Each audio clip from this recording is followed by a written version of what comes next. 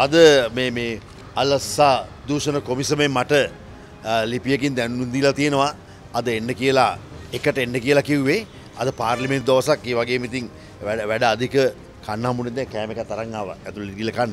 මේ ආව අල්ලස්සා දූෂණ කොමිසමට ආවේ අල්ලසා දූෂක කොමිසමට හඬපටයක් ලබාදීලා තියෙනවා. ඒ හඬපටය විමල් වීරවංශ ගරු පාර්ලිමේන්තු මන්ත්‍රීතුමාගේ දෑබර බිරිඳවන්න ශශීවීරවංශ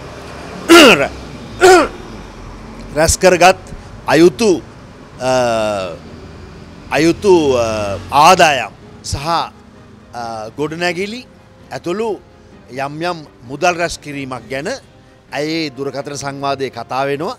ඒ වගේ මේ ඇය සහ ඔහු ඇයගේ සැමියවන විමල්වීරවංශ මහත්මට තියෙන දූෂණ චෝදනාවලට වලින් බේරෙන්න්නට රාජ්‍ය අනුග්‍රහය බලාපොරොත්තු වෙන කතාවත් තම හඬපටේ කියවෙන්නේ. ඉතින් ඒ හඬපටේ මගේ නම සඳහන් වෙනවා.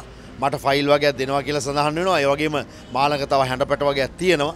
ඒවත් අරගෙන මෙතැන්ටාවේ ඒ වගේ මේ හඬපටේ සඳහන් වෙනවා රාජිත අයියා සහ සුජාත අක්කා කියලා. ඉතින් ඒ ඒ අයගෙන් සහ ඒ අගේ හමු ඒ අය හමුණේවයි ඒ අය සමඟ දුරකතනයෙන් සංවාධය කරපු ඒවයි. ඔහුගේ සහ ඇයගේ විමල් විරවංශ මහත්මයාගේ සහ ශශී විරවංශ මැතිනියගේ යම් යම් දූෂණ වංචා අක්‍රමිකතා සහ අයතා මුදල් රැස්කරීම් වලට නීතියෙන් බේරීමට සහයෝගයක් බලාපොරත්තුවෙන් දුන්න දුරකථන ඇමුතුම් තමා තියෙන්නේ. ඉති අපි හොයාගන්න ඕනේ සුජාතක්කා කියන්නේ කවුද? රාජිතයියා කියන්නේ කවුද? එකොළඟ හම්බුනාද රංජන අයියා කියන්නේ කවුද? රංජන අයව හම්බුනාද ඉති මේක මේ කාටවත් අපහසයක් කරන්න නෙමේ කාටවත් අපහසයක්කළු අපිට ඒක ස්වබාධර්මය දනුවක් ලැබේවි.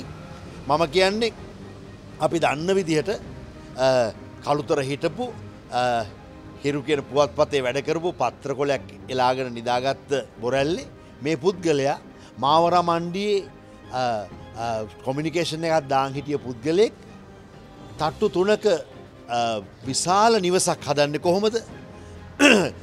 එතකොට ස්ටොක්ලොට් සරගෙන කොහොමද ගණු දෙනු කළේ?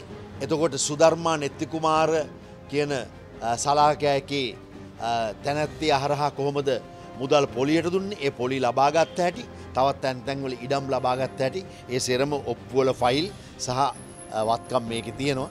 ඉතින් ඒව ගැන අපි කියන්න අයියාව. ඒ ඒ පැමිණිල්ලට අනුව අද මම සාක්ෂිකරුවෙක් ලෙස රජයේ සාක්ෂරය සම්බන්ධන තම මෙතැන්ට ආග.